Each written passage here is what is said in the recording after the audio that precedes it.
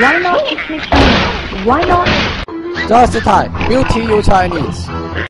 你好，Repeat after me. 十。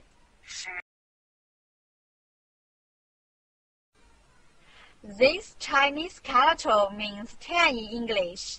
This is its syllable. 十. Repeat after me. 十。